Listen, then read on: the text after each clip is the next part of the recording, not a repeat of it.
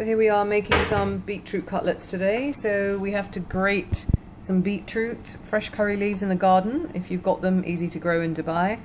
Spice box, mine's a bit of a mess, but basically this is the one you need, the um, black mustard seeds. Uh, chop up some bits of ginger. You can add garlic and onions, but we're doing it without garlic and onions today. And here are potatoes, which we're boiling away, and we're going to mix those into the um, fried mixture of beetroot cutlet. And here's our wok ready with a bit of oil. You can just use sunflower oil um, to fry the uh, beetroot mixture. Okay,